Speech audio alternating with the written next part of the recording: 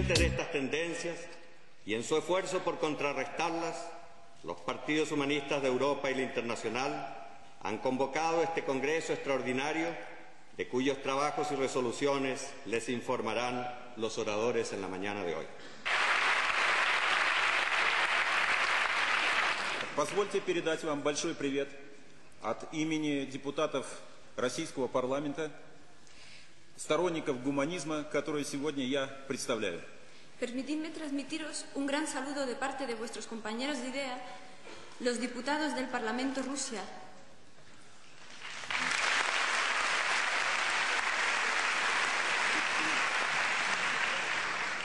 Позвольте поздравить вас с организацией сегодня в Мадриде Европейского регионаля гуманистического интернационала. Permitidme además felicitarnos por la apertura en Madrid del Congreso Internacional Humanista.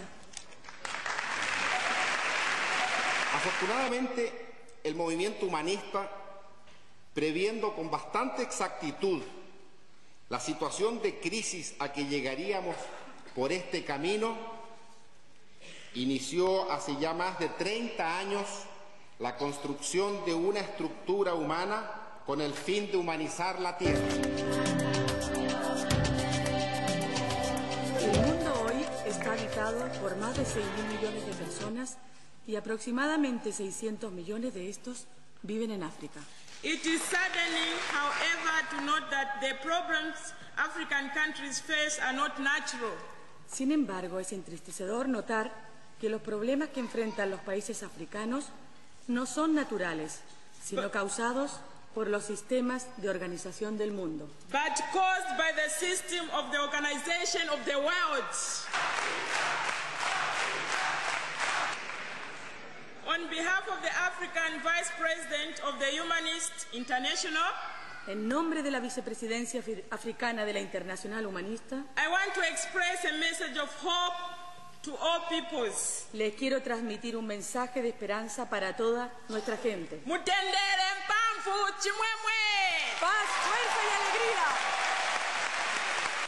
I offer all our support from India and the Asian region Y ofrezco todo nuestro apoyo desde India y la región asiática to working together with the European region para trabajar en conjunto con la regional europea in achieving our common objective. en el desarrollo de nuestros objetivos comunes.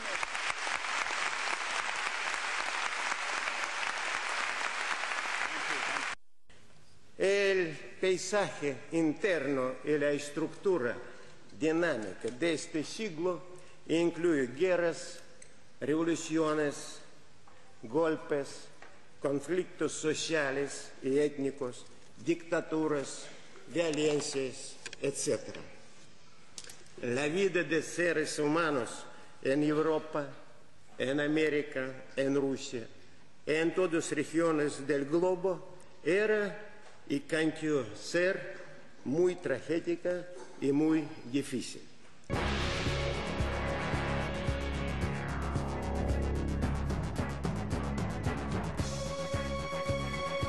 Internacional adoptó la Declaración Universal de Derechos Humanos y tuvo que reconocer que los derechos humanos no tienen la vigencia universal que sería deseable porque no dependen del poder universal del ser humano, sino del poder de una parte sobre el todo. Y si los elementos más elementales de reclamo sobre el gobierno del propio cuerpo son pisoteados en todas las latitudes, solo podemos hablar hoy de aspiraciones que tendrán que convertirse en derechos vigentes. Los derechos humanos no pertenecen al pasado, están ahí en el futuro, succionando la intencionalidad, alimentando una lucha que se reaviva en cada nueva violación al destino del hombre.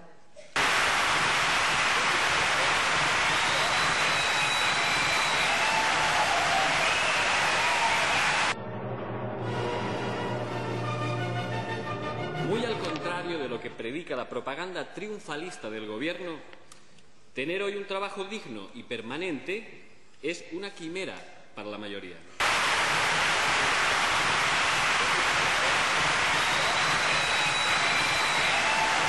Si los gobiernos socialistas anteriores impusieron leyes de extranjería discriminatorias e inhumanas, el gobierno actual de la derecha lo está aplicando, si cabe, con mayor dureza e indignidad. Tráfico de inmigrantes, tráfico de inmigrantes, mafias, relaciones de explotación y humillación propias de otro siglo se están instalando en la cotidianidad. Que esto se dé en un pueblo como el nuestro, el español, que ha emigrado a lo largo de siglos en busca de una vida mejor, esto produce algo más que un deterioro, que un daño ético, produce un deterioro psicológico, el deterioro psicológico que implica negar la propia memoria.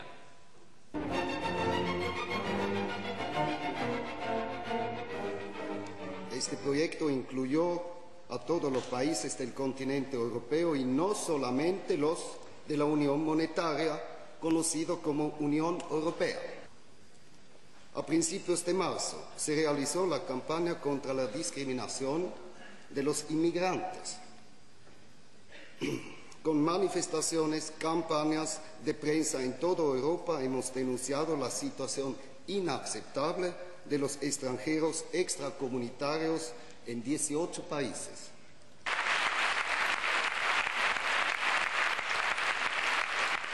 Denunciamos la cobardía e hipocresía de los gobiernos europeos frente en el caso Öcalan, que está llevando a explosiones en las comunidades kurdas en Europa.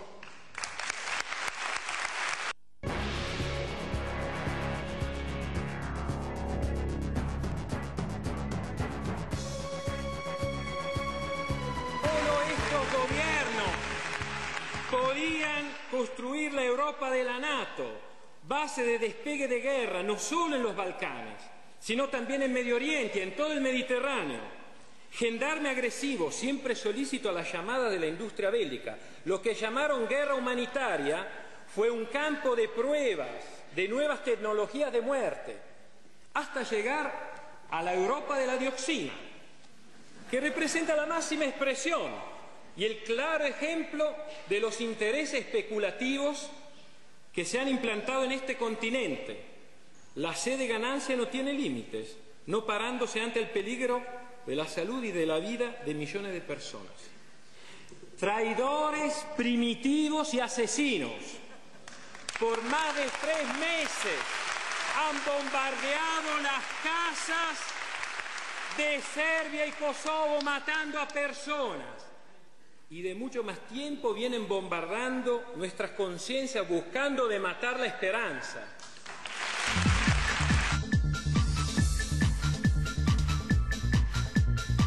Queremos vivir en una Europa que responda plenamente a las necesidades de los seres humanos, atendiendo también a sus aspiraciones más profundas. Nación solidaria, no violenta, no discriminatoria, acogedora, cooperante, donde ser serbio, croata, kosovar o irlandés no sea un error geográfico fatal.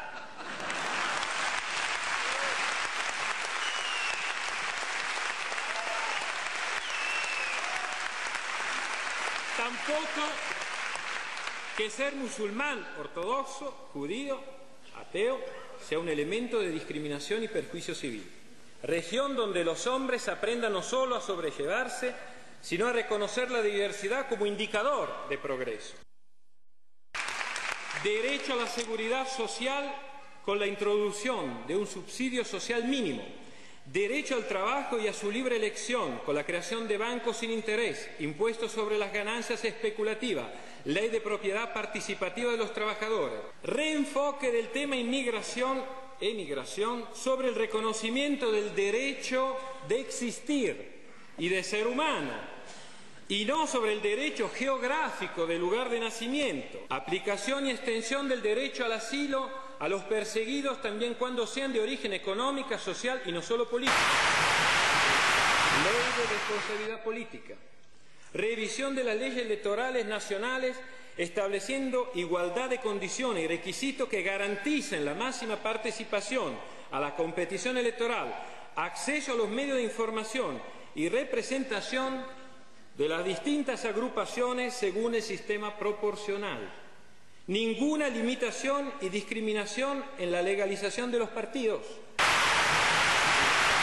salida de la OTAN de todos los países europeos y en lo inmediato, desmantelamiento de todas las bases de Estados Unidos en Europa. Desarme progresivo, proporcional y simultáneo en todos los países europeos.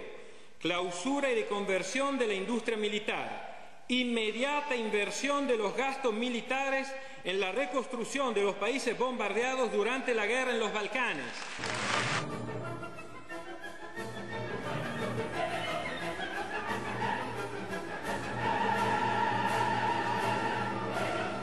La regional de los partidos humanistas, que hoy se pone en marcha, tiene la fuerza y la dinámica de los vientos integradores que soplan a su favor.